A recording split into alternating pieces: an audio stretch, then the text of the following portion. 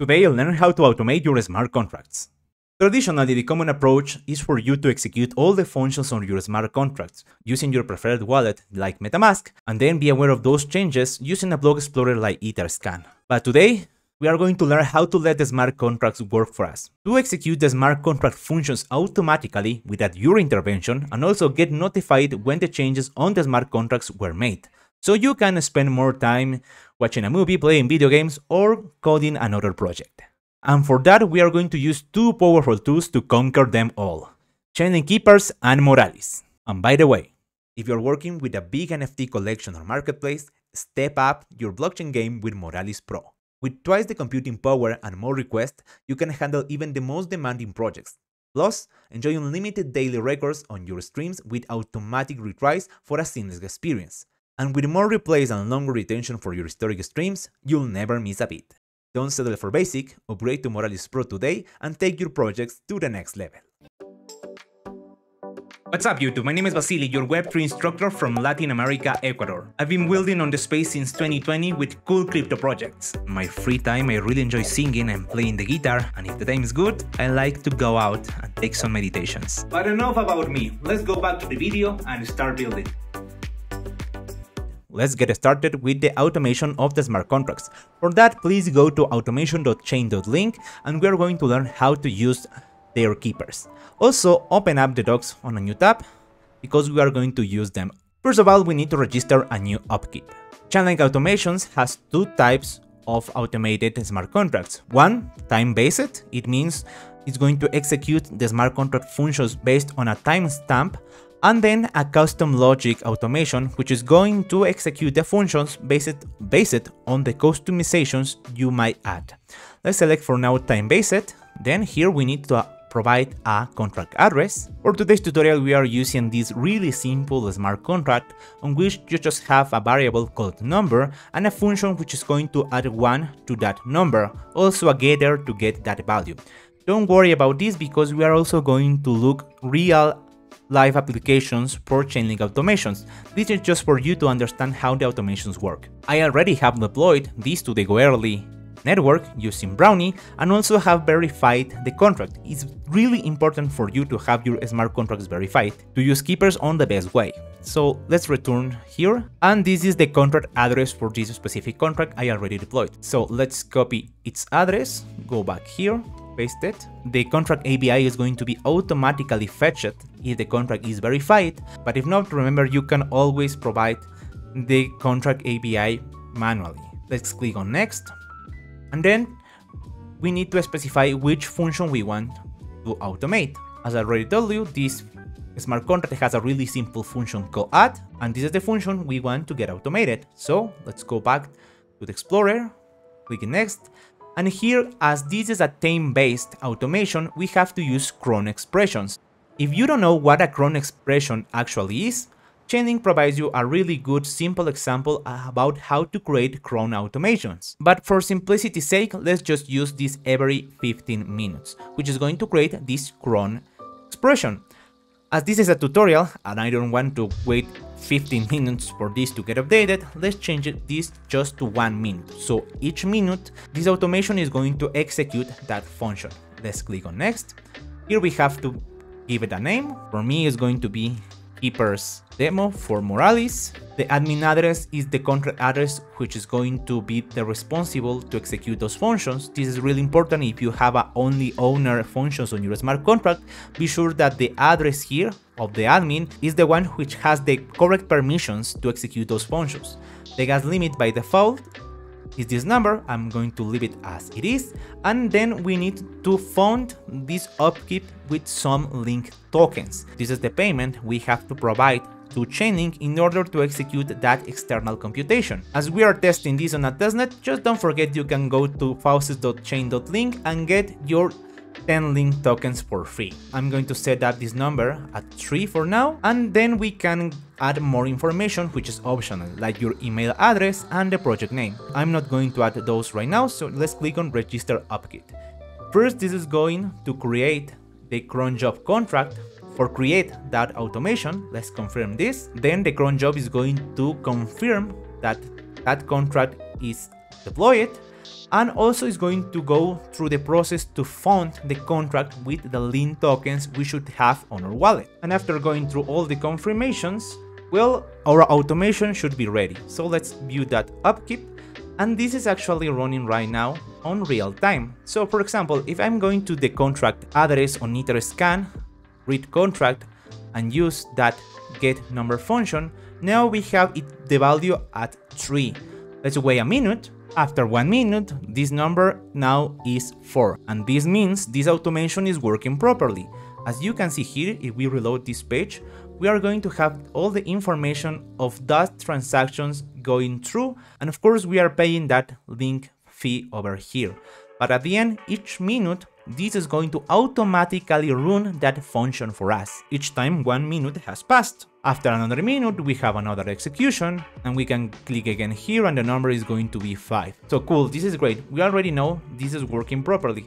So because I don't want to get out of funds, just let me pause this upkeep, this is going to trigger a transaction, again, we should confirm this. After the transaction goes through, our automation is paused. As you can see, this was a really straightforward process, and automating a smart contract function is really easy. I just want to mention that as you saw, there is two types of automations, one time-based and one with custom logic.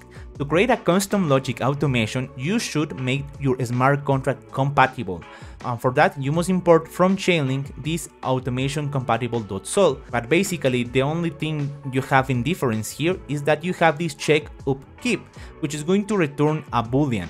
This boolean is going to tell the automation system if it has to execute or not a function. And then when this compromission goes by, you can execute this perform upkeep function on which you are going to actually execute the logic you want. In this case, it's the same, add 1 to a variable called counter. If you want to learn deeply how this custom automation works, please go to the Chainlink documentations I asked you to open before and read this tutorial because it's really straightforward and really comprehensive about how this works. But now this is great, we already have a way here to automate the execution of the functions of our smart contract.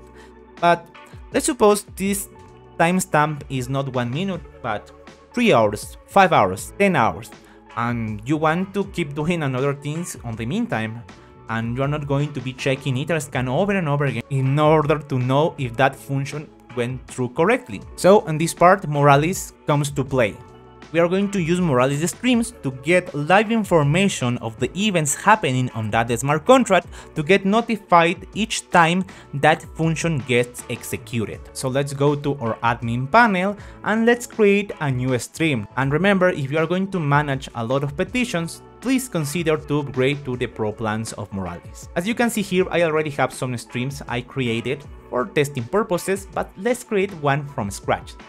Let's create a new stream Let's put in here the address of the contract. We have it over here on Etherscan. Paste it, click enter. Let's wait until Moralis recognizes that contract. Then we can set up a webhook URL. We are going to do that soon, but for now, let's keep this on the demo tab. Now we have to select the network, we know we are using Goerli for this demo, and then we have to select which interactions we want to listen to. In this case, we just care about contract interactions. Then we have to provide the contract ABI. Again, we can go to Etherscan, contract, and copy the ABI from here. Let's paste the ABI over here, and Moralis automatically is going to detect the events this contract has, in this case, number added because again, this contract has a function called number added, which is going to return that number. And this is exactly what we want. So we are not going to add an advanced filter here, and also we are not going to add a trigger. And by the way, if you want to know what Moralis triggers are, please check out one of our latest video on that matter. So let's click on update stream. If everything goes well, we are going to have a success notification over here. So basically, each time we execute that add function, it's going to trigger a new event, and Moralis is now currently listening to that event. Let's check if that works properly. So using Brownie, I created a simple script to just execute that add num function for the Goerli network. Let's click on enter. This is going to start a new transaction and let's go back to Moralis And as you can see here, we have a new event triggered with all the information of the transaction. And here inside the contract logs, we are going to have the information we want. Of course, this is on a hash format, so we will have to decode this. But for now, we at least know this is working properly, so let's use this information to create notifications. For that, instead of using over here just the demo version of the stream, let's change this to production. In order for this to work, we need to provide a webhook URL. We are going to create a local server using JavaScript and then use ngrok to create a tunnel between our local host to the internet. So basically using Express we are going to create a simple server which is going to run on the port 3000 on the endpoint webhook and is going to receive the request body into a variable called webhook. If everything goes well, we are going to return a 200 status. Also, we have to keep running this with this app.listen. Also, for this project, we need to install some dependencies using npm, so let's do it. npm install add Moralis web3 core, big number, express for the server, Moralis, node notifier, and nodemon. This node notifier is the library we are going to use to actually create those notifications. And finally, we are going to also need TypeScript over here. Of course, I already have all those dependencies, so for me it's going to be an almost instant process, but just wait until you have them all. Let's return to the code. And for now, all the information of that webhook is going to be stored on this webhook variable, but we need to decode the logs in order to get the actual value of that number. So let's check that out. First of all, let's create an interface called number added, which is going to have a value called number and it's going to be a type of big number. This is not random names, remember we have to use the same ones as we have on our ABI. It means that if you contract have an event called number add, use the same name and also the variable should be the exact same. And you can always double check that if you check the contract ABI, as you can see here, the name is number add, the type is uint 256, which corresponds to a big number in JavaScript, and its name is number. So let's continue. Now we need to, decode those logs. So const decoded logs, moralis.streams. We are going to parse the logs which are stored on this interface and using the information from the webhook over here. That's why we needed to install Moralis and import it over here. Now we have those decoded logs and we know the variable name is number, so we can use that. So using the notifier library, we can create new notifications when that event is executed. So it's going to have a title, new update, and the message is going to be that number value parsed into a string. If everything goes work here, well, we are going to have a new notification each time we execute that function.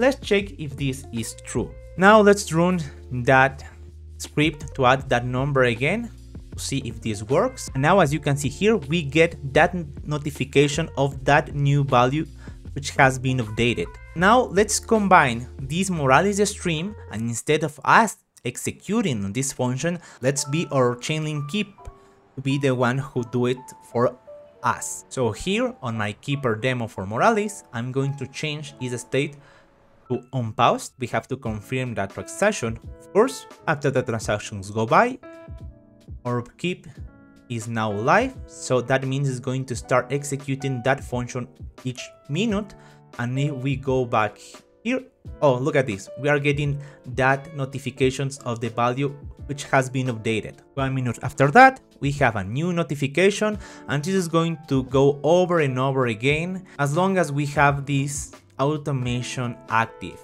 and this is great because now we have a way to execute automatically our smart contract functions and get notified using Moralis when that happens. And as easy as that, you know how to do it. But before we go, let's talk about some real life applications we can do with this automation workflow using Keepers and Moralis. Because again, for this demo, we used a really really simple smart contract which just have this really simple function.